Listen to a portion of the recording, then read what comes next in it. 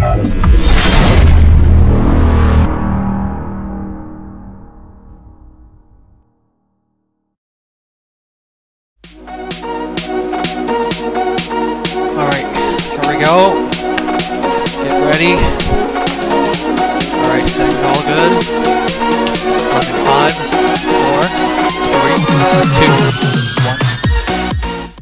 Hello everybody, my name's Alex and welcome to the first episode of the Unfold series. In today's video I am going to be teaching you guys how to create the NCS circle effect. Uh, this effect right here I am going to be teaching you how NCS make their videos. Now I'm not going to be uh, releasing their official or their like their settings or so. I'm going to be teaching you guys how to make well a similar effect with the same plugins. So yeah. But before starting the video I'll put the requirements on screen right now. Um, so all you need is Trapcode Form, Trapcode Shine, and Trapcode Starglow, which are all third-party uh, plugins by Red Giant, I believe. And uh, the only necessary plugin is actually Trapcode Form. But let's let's jump straight into the tutorial. Sorry. So um, I'm in Adobe After Effects uh, CC 2014, but it should work on any version um, as long as you have the plugins. Uh, so first off, I'm going I'm going to be creating a new composition. I'm gonna call this tutorial take six, I believe it is take six. Yeah, it's my sixth try here. So yeah, uh, right click to create a new solid, which is uh, the first thing we're going to be doing here. So we'll call this particle. Particles. And um, you won't see the white background, of course, if you're familiar with After Effects. And then you want to apply the effect on it. So what you are going to want to do is search here for Trapcode. Well, no, sorry, you're supposed to search for form, and uh, it's gonna show up under the uh, Trapcode. Uh, the Trapcode uh, tab and you just drag it over to the particles tab. Now in here we're going to be changing a couple of values and settings uh, to make it look like a circle. So first off you want to go into the base form tab right here. Um, you want to change these values. The size X, you want to have it on a value of 590 and the size y you want to have it uh, you want to have it on a value of four, uh, 430 4 430 430 and uh, on the size z you want to have it on 0 uh, the particles in x uh, this is supposed to be on 400 and the same for particle in y I'll repeat this once if you're in Adobe After Effects right now. The size x 590 the size Y 430, size Z 0, particles in X 400, particles in Y 400, and particles in Z 1, since you can't set it to 0. Uh, now we're done in the base form tab, you can close it and you can now go into the particles tab. In the particles tab, all we're going to be changing in here is the color.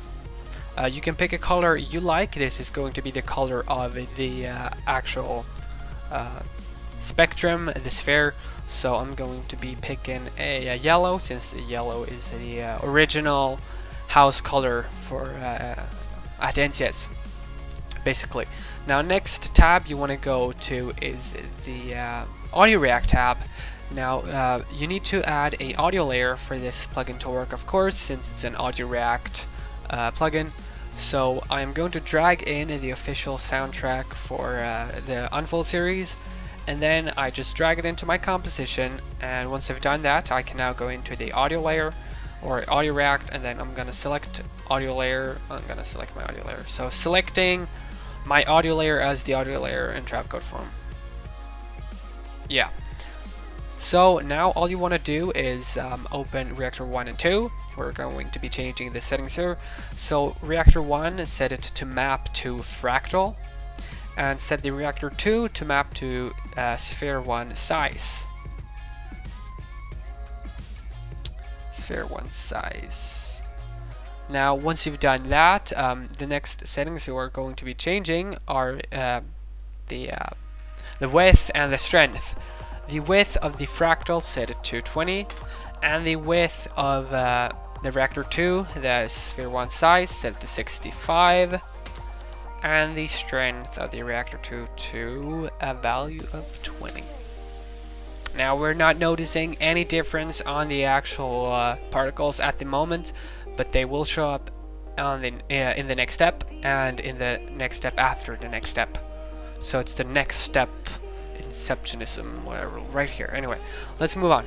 So in the fractal field, in the fractal field, right, in the fractal field, you are going to be changing the displacement value to a value of 50. So 50 right there. Um, now we're getting some difference or some displacement on the uh, base form. Uh, now you want to change the uh, the flow in uh, y to a value of minus or negative uh, 167 and then you want to change the flow evolution to 95 so repeat it for you guys who are in After Effects displacement set to 50 flow y negative 167 and flow evolution set to 95 that's all you have to do for the fractal field. You can now close the tab down and go into the spherical field tab. In the spherical field tab, we're only going to be using the sphere 1. And in here you want to change the strength to 100 and once you've done that, you then want to change the radius to about 420. Um, basically what this does is, um, well, changes the radius of the uh, strength of the spherical field and basically if you have different values on the base form you basically want this just to be a little bit above the um, uh, the base form so about I'm gonna set it to 420 or near plus minus 100 of the base form of uh, this value so once you've done that um, you can now uh, change or sorry uh, close this tab and we have our audio spectrum. That's about it. Really simple. Now, please bear in mind, there is a couple of things we can do to make this look better. Of course, I'm going to be adding my own effects. My own effects will, a couple of effects that I like using, um, which will increase your production value quite a lot, actually. Um, one of them being uh, activating or turning on motion blur. Now, do bear in mind, it is going to make it look more smooth and, you know, it's gonna make it look more smooth. That's basically the only term which is rather correct. Um, and uh, though bear in mind this effect is going to uh, affect your rendering times quite heavily. Um, but so for the uh, tutorials for the sake of the tutorial I'm going to turn it off and turn it on when I'm showing you guys the final results. Um, another thing we can do if you want to change the uh, size and the uh, the uh, placement of the sphere. Do not move the composition like this. Then you're moving the entire composition. Um, or the entire composition, no, you're removing the entire uh, solid, which is not what you want. Um, what you want to do instead, like uh, known or people or users familiar with After Effects will know that this is not how you do it. This is not how you do it, guys. The best way to do it is if you can change size and move things within the part, uh, third-party plugin or the plugin itself, do it in the plugin. So in the world transform, we can change the size. Um, I'm going to set it to about 80. And then I'm also going to be changing the X offset to about a value of 150, and it should move 150. Maybe it was 550. No, it was 450. Four, no, it was 350. No, it was 400. Some, yeah, well, subjective, guys. Um, like, you guys can play around with these values how much you want, really. It's, um, it's subjective, it's what you like, is what you like. So what you like was what you like. What I mean with that is, basically, you might not like the settings I have, you might find your own settings. So, you know, once you've rendered out your video, hit me a message on Facebook or uh, here on YouTube and I'll have a look. Um, yeah. So now we've moved the uh, audio spectrum. This is how to do the entire audio spectrum.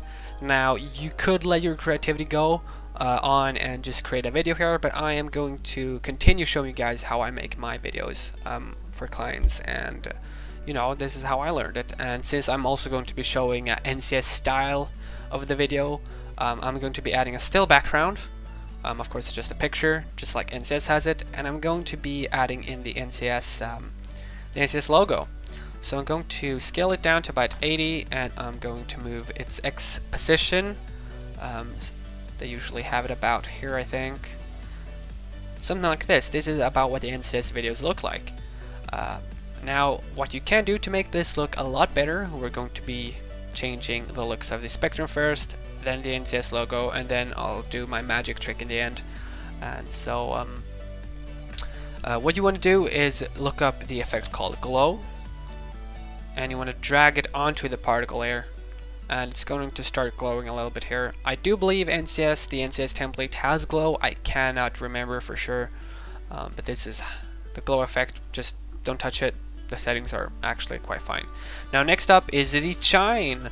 So Trapcode Shine is a plugin effect which I use in almost every project. Um, it's a really good project. It does a really high quality shine and it can be used like in almost every shot, every effect, anything really. Um, so, you know, you want to try to center it in the middle of the uh, sphere. And if you cannot see through the effect or if it simply removes anything, um, change the transfer mode to normal or add. Add will make it about, it's going to put itself on top of it. So let's say if the light value is 50 and the light value of the shine is 50, the light value is going to be 100. Um, if you have it on normal, it's not going to blend together in the same way. Um, so in colorize, you don't want to set it to one color and just choose the color, uh, which is quite sim the similar color, the same color as the uh, uh, spectrum. And I'm going to change the relief to about one, actually a little bit less. Something about that. And I'm going to boost the light. What about three, maybe? That looks about that looks about it. Um, so I'm going to close down the shine tab and I'm then going to add the star glow. The star glow, it kind of gives some edges to your uh, spherical effect. As you can see, we got some edges here. Um, it's sort of like optical flares, but they're not optical flares. But it gives your sphere a little bit of edgy effects, and I like it. You don't have to use it, but I use it. So first off, go into the color map A and color map B and set it to one color, set it to one color. Um, you can then change this color. I usually have one color as the same color and then the other color a more of a darker color of the uh, default color. So you get a little bit of variation. You can see we have a little redder reddish color right here to just bring a little bit of variation to the uh, to the to the scene. Um, now we have the spectrum done. What I can do now just to make it look better um, is activating the motion blur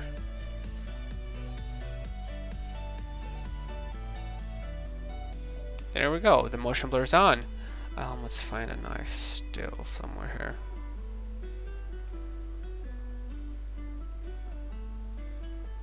Oh, well, this is gonna take ages. This looks good. So, next up we're going to be adding um, shadows onto the logo. Now this can be your own logo you're having right here. It could be uh, just a picture, it could be anything. Now this has transparency and things with transparency usually works very well with um, the layer style drop shadow. Um, as you can see, we've added a little bit of shadow. Um, you know, traces the production value a little bit, and it adds depth to your scene. Um, so if we can go here, we can go in here, raise this to about 80, and change distance to the doubled. So 10, something like that. And we'll just, you know, we're having a little bit of depth to the scene. And uh, now what you can do, basically this is an NCS video, we're done. This is how NCS makes their videos, a little bit of drop shadow, you know, they they have their uh, their spectrum and their background. Now to make this look good, in my opinion, you know, my opinion, you could add some motion to the background, to the background plate, meaning the still background here, uh, to the photo. So increase the scale to 105. If you don't know how to increase the scale, you could just press here, go to transform and go to scale. Quicker way, uh, hit the uh, layer, hit S on your keyboard, voila. Uh, voila, there you have it, voila, voila, voila. Kind of funny word. Anyway, so uh, increase it to 105 and then hit P on your keyboard to get the position keyframing and then hold Alt and press the keyframe button and you're then going to get up the expression window. In here you want to type in a wiggle parentheses 0.4 comma 50 and parentheses close it. And uh, then you just press outside and there we go. You've added some wiggling to your uh, to your scene. Um, actually I've been a bad boy here let me just check here. One second guys.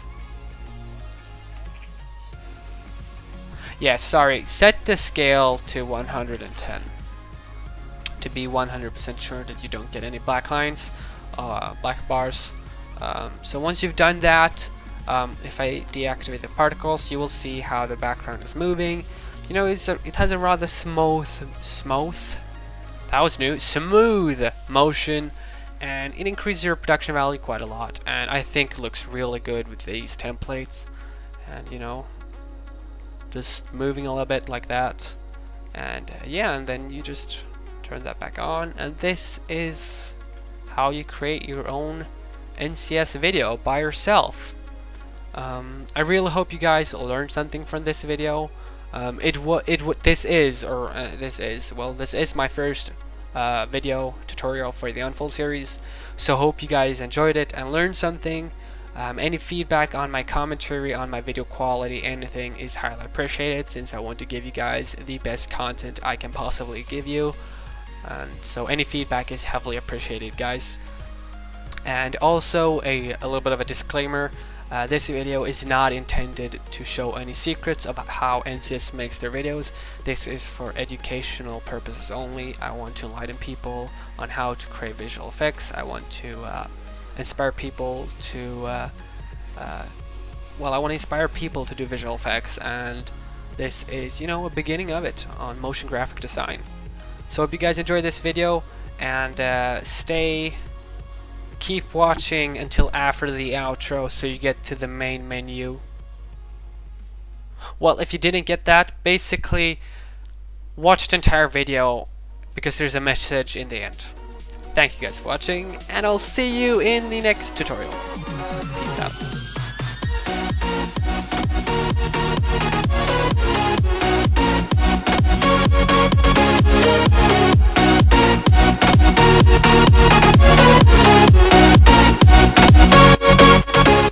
Hey guys, and once again, thank you for watching the first episode of the Unfold series. By pressing on the screen right now, you can get back to the main menu, uh, where you guys can select other videos and tutorials.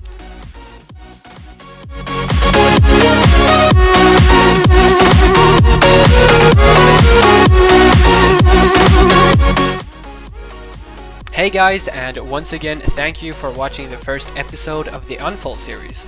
By pressing on the screen right now, you can get back to the main menu uh, where you guys can select other videos and tutorials.